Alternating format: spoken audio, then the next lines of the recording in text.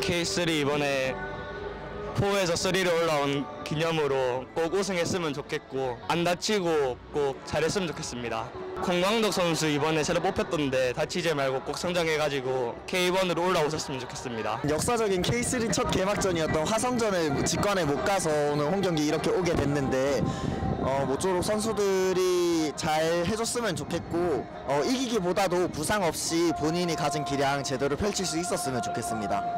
또 K3 홈 개막을 했는데 작년보다 더 기대가 되고 이번 시즌도 화이팅하고 더 좋은 성과가 났으면 좋겠습니다. 어, 지고 있더라도 포기하지 말고 끝까지 해주셨으면 좋겠어요. 영준 선수가 하고 싶은 거 다 하고 선수생활 하셨으면 좋겠습니다. 오늘의 홈 개막전이기에 많은 사람들과 팬들이 오셔가지고 열띤 응원을 해서 오늘 꼭 승리했으면 좋겠습니다. 선수들이 그라운드 위에서 뛰어주는 그런 모습들이 굉장히 인상 깊게 남아 있었거든요. 저 저번 주 화성 원정 갔을 때. 그래서 오늘 경기 그리고 앞으로 펼쳐질 경기 그리고 이제 시즌 끝날 때까지 선수들이 그 열정하고 그런 모습들을 시즌 끝까지 가져가서 K3에서도 좋은 성과 낼 수 있었으면 좋겠습니다. 대구 FC 파이팅! 대구 FC 화이팅! 대구 FC 화이팅! 대구 FC 화이팅!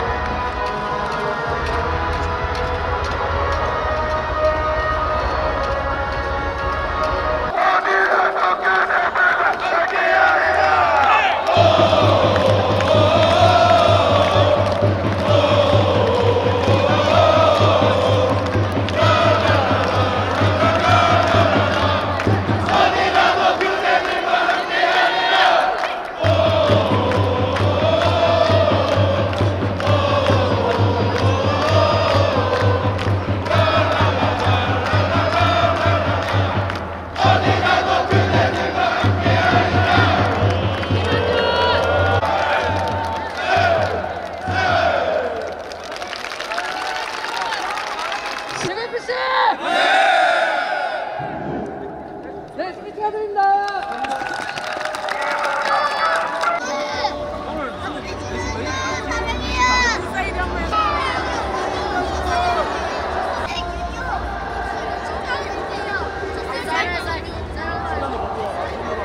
동계훈련 때부터 열심히 했던 게 이렇게 경기장이 나, 나, 나온 것 같아서 한편으로 되게 열심히 했다 생각 들고 앞으로 더 열심히 하겠다 생각 듭니다.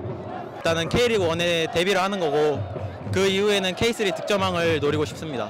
어, 이렇게 홈 첫 경기 개막전부터 많은 분, 많은 팬분들이 찾아와 주셔서 너무 감사하고 앞으로 이제 홈 경기 때 말고 어웨이 때도 많이 찾아와 주시면 승리로 꼭 보답드리겠습니다. K3 홈 개막전을 했는데 많은 팬분들이 와주셔가지고 그거에 승리로 보답할 수 있는 것 같아서 너무 기뻤어요. 일단 K3도 중요하지만 저 K1에서 대팍에서 팬분들한테서 좋은 모습 많이 보여드렸으면 좋겠고요. K3도 뛸 때 골을 좀 많이 넣었으면 좋겠어요.